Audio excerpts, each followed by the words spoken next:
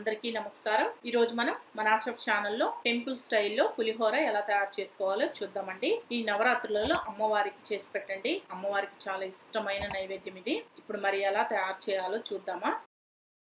First మీరు ఒక పావు కేజీ బియ్యాన్ని ఇలా పొడి పొడిగా వండి పెట్టుకోండి. వండుకునేటప్పుడే మీరు వాటర్లో కాస్త ఆయిల్ వేసుకున్నారంటే మీకు ఇలా పొడి పొడిగా వస్తుందండి. ఇలా వండుకున్న అన్నాన్ని ఇలా వెడల్పాటి బేసన్లో వేసుకొని పక్కన పెట్టుకోండి.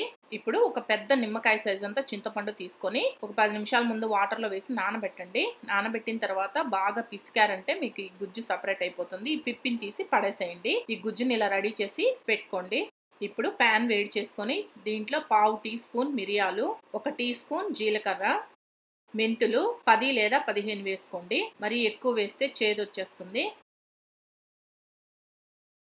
ఒక టేబుల్ స్పూన్ శనగపప్పు ఒక టేబుల్ స్పూన్ ధనియాలు దీంట్లోనే ఒక ఎండుమిరపకాయ కూడా వేసుకొని సిమ్లో పెట్టుకొని మాడకుండా దోరగా వేయించుకోండి. ఇలా దోరగా వేగిన తర్వాత లాస్ట్లో ఒక టేబుల్ స్పూన్ నువ్వులు వేసుకొని వేయించుకోండి. ఈ నువ్వులు ఫస్టే వేసామనుకోండి మనకు మాడిపోతాయి. అందుకని దించే ముందు లాస్ట్లో వేసి వేయించండి. ఇలా వేయించుకున్న వీటిల్ని మిక్సీ జార్లో వేసుకొని మెత్తగా పౌడర్ చేసుకోవాలి. ఈ విధంగా పౌడర్ చేసుకొని పక్కన పెట్టుకోండి. ఇప్పుడు మళ్ళీ ప్యాన్ వేడి చేసుకొని దీంట్లో మూడు లేదా నాలుగు టేబుల్ స్పూన్ల దాకా ఆయిల్ వేసుకోండి.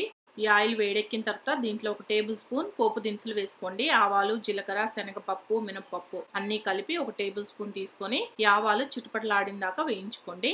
ఆవాలు వేగిన తర్వాత దీంట్లో ఒక పావు కప్పు పల్లీలు వేసుకొని వేయించుకోండి. పల్లీలు కూడా వేగిన తర్వాత రెండు ఎండుమిర్చి అలాగే మూడు పచ్చిమిర్చి వేసి వేయించండి. ఈ పచ్చిమిర్చి కూడా లైట్గా వేగిన తర్వాత దీంట్లో హాఫ్ టీ స్పూన్ పసుపు వేసుకోండి. ఈ పసుపు కూడా వేసి ఒకసారి మొత్తం కలిపిన తర్వాత దీంట్లో పావు టీ స్పూన్ ఇంగువ రెండు రెమ్మల కరివేపాకు కూడా వేసుకొని మొత్తం బాగా కలపండి. ఇలా వేగిన తర్వాత దీంట్లో మనం ముందుగా తీసి పెట్టుకున్న ఈ చింతపండు గుజ్జు ఒక చిన్న ముక్క బెల్లం ముక్క వేసుకోండి. వేసుకొని మొత్తం బాగా కలపండి. దీంట్లోనే మీ రుచికి సరిపడా సాల్ట్ కూడా వేసుకోండి. సాల్ట్ కూడా వేసి మొత్తం బాగా కలిపి ఈ ఆయిల్ పైకి తేలేంత వరకు మీరు మీడియం ఫ్లేమ్లో పెట్టి ఉడికించండి. చూసారా? బాగా ఉడికి ఈ చింతపండు గుజ్జు ఆయిల్ పైకి తేలింది కదా? ఇలా వచ్చిన తర్వాత దీంట్లో రెండు లేదా మూడు టేబుల్ స్పూన్లు మనం ముందుగా పొడి చేసి పెట్టుకుని ఈ పొడిని వేసుకోండి. ఈ పొడి మొత్తాన్ని వేసుకొని బాగా కలుపుకోవాలి. ఈ పొడి వేసుకున్న తర్వాత స్టవ్ ఆఫ్ చేసేసేయండి. స్టవ్ ఆఫ్ చేసి మొత్తం బాగా కలుపుకొని ఈ పేస్ట్ని మనం ఆల్రెడీ ఉడికించి పెట్టుకున్న ఈ రైస్లో వేసుకొని మొత్తం బాగా కలుపుకోవాలి. మొత్తం ఒకటేసారి వేసుకోకుండా ఈ చింతపండు పేస్ట్ని కొంచెం కొంచెం వేసి కలుపుకోండి. మరి పులుపు ఎక్కువైపోయింది అనుకోండి బాగుండదు. అందుకని రైస్కి సరిపడా వేసుకొని కలుపుకోండి.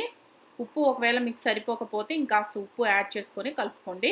ఈ వీడియోలో చూపిస్తున్నట్లు మొత్తం బాగా కలుపుకున్నారంటే సరిపోతుంది. అంతే చాలా సింపుల్ అండి. మనకి టెంపుల్ స్టైల్లో పులిహోర రెడీ అయిపోయింది. చాలా రుచిగా ఉంటుంది. ట్రై చేయండి. ఈ వీడియో కానీ మీకు నచ్చినట్లయితే నా యూట్యూబ్ ఛానల్ మనా షెఫ్కి సబ్స్క్రైబ్ చేయండి. నచ్చితే లైక్ చేయండి షేర్ చేయండి కామెంట్ చేయండి.